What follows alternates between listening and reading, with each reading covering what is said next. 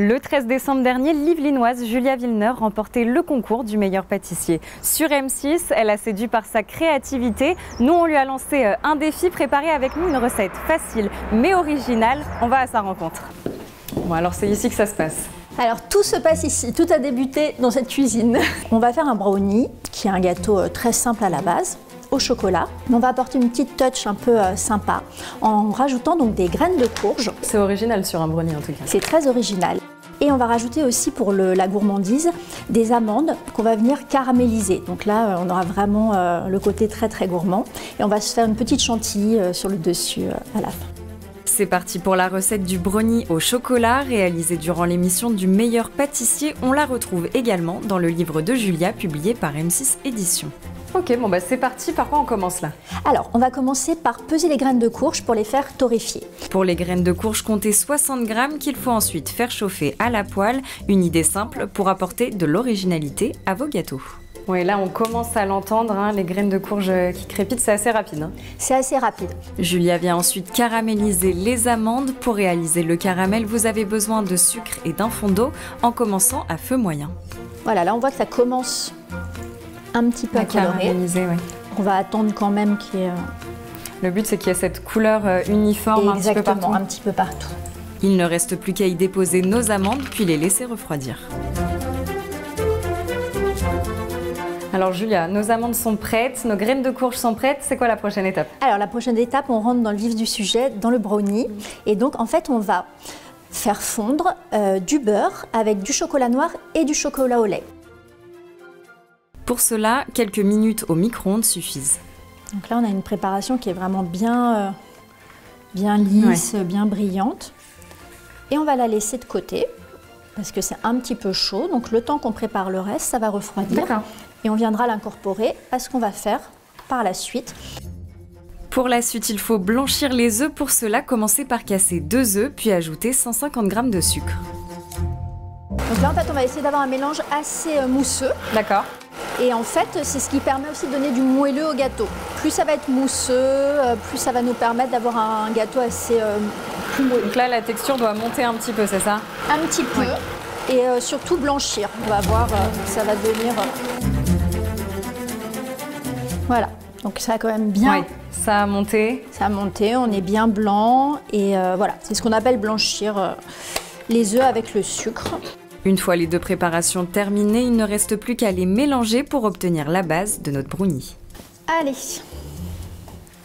Donc là, c'est pas la peine d'aller très vite, mais euh, voilà, d'accord. Donc le but là, pareil, c'est d'avoir un mélange euh, homogène Exactement. Et là, ça me paraît parfait. Super. Ajoutez la farine tamisée, puis la fleur de sel. Très important, c'est la fleur de sel. C'est vraiment un exhausteur de goût du chocolat, mais incroyable. Ensuite, ajoutez les amandes caramélisées concassées, les graines de courge et des morceaux de chocolat noir. Et voilà notre préparation terminée. Il ne reste plus qu'à la verser dans un cercle à tarte graissé. Dernière étape, la cuisson à 180 degrés pendant 15 minutes. L'occasion pour nous de revenir sur l'aventure de Julia. Donc ça, on l'a compris, c'est une recette que vous avez fait euh, pendant le meilleur pâtissier. Comment ça a commencé cette aventure pour vous? C'était assez incroyable en fait, je pense que c'est le destin. Donc j'avais une petite page Instagram parce que j'aimais bien faire des gâteaux euh, le week-end pour des amis. Et donc souvent bah, je prenais des photos et je les mettais sur, euh, sur mon mur. J'ai été contactée en message privé par une casteuse qui m'a demandé si ça m'intéresserait de participer au casting. Mhm. Je dis pourquoi pas. et donc ça a commencé comme ça et j'ai enchaîné. À chaque fois, je me disais oui, mais non, de toute façon, c'est juste, euh, ça ne sera pas pour moi. Enfin, et puis à chaque fois, je passais les étapes jusqu'au moment où euh, on m'a dit que j'allais rentrer euh, sous la tente. Parce que vous faites de la cuisine depuis très jeune, mais à la base, votre profession, vous, c'est juriste. C'est un milieu qui est quand même très éloigné de la pâtisserie. Tout à fait, oui, je suis juriste. Euh, j'ai fait des études de droit bah, à Saint-Quentin, donc à l'université de Saint-Quentin, dans le, dans le coin. Euh, mais j'ai toujours aimé en effet euh, faire à manger, que ce soit le salé, le sucré. Et euh, depuis plusieurs années, là, c'est vrai que j'ai été vraiment axée sur, sur les gâteaux. Et en même temps, j'avais besoin de ce côté un peu créatif où je pouvais laisser exprimer bah, ce que, voilà, ce que j'avais envie de faire avec mes mains, en fait. Et alors, quand vous avez su que vous étiez retenu pour le meilleur pâtissier, vous avez reçu un message de Mercotte, je crois. Exactement. C'est surprenant. C'était très drôle. En fait, justement, la casseuse m'a fait une petite, une petite blague. ça faisait des mois hein, qu'on était, mm. je crois que ça duré 5 ou 6 mois le casting on attendait. Et elle me dit, euh, écoute, euh, je t'envoie sur WhatsApp, on a un dernier euh, questionnaire. Regarde, je viens de te l'envoyer. Et donc en fait, je clique. Et c'était une vidéo de Mercotte qui me disait qu'elle m'attendait sous la tente. Et c'était parti pour l'aventure. C'était parti. Une aventure qui l'a menée jusqu'à la victoire du meilleur pâtissier en décembre dernier. Retour à notre recette, il ne reste plus qu'à réaliser la chantilly maison. Pour cela, mélangez 200 g de crème liquide et 20 g de sucre. Pour plus de saveur, vous pouvez y ajouter de la poudre de vanille.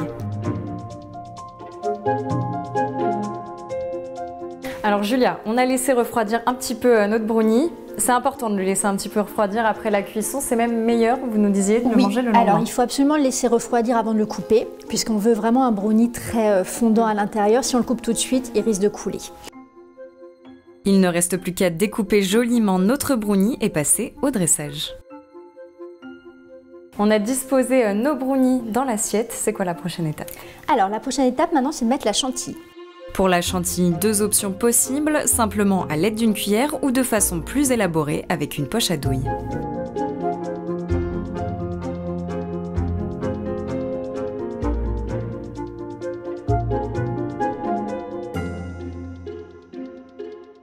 Bon, est-ce qu'on peut goûter quand même Après avoir fait tout ça. C'est le but. on y va? Allez, on y va. C'est bien fondant en tout cas. Mmh. C'est très très bon. C'est très fondant et on sent à l'intérieur tout ce qu'on a mis, ces amandes, les petits morceaux de chocolat. Ça apporte vraiment quelque chose euh, en plus. Si vous aussi à la maison, euh, vous souhaitez réaliser euh, ces desserts, un livre peut vous aider, c'est celui de Julia. Alors dedans on retrouve de tout, toutes les recettes que vous avez fait pendant l'émission et aussi des recettes à vous personnelles. Exactement, il y a 36 recettes. Puis on vous retrouve aussi sur Instagram, c'est Julia LMP, c'est ça? C'est Julia LMP12 et euh, en effet, je donne plein de nouvelles recettes sur Instagram, donc euh, n'hésitez pas à me suivre. Bon ben voilà, vous avez tout euh, pour réaliser de belles pâtisseries maintenant.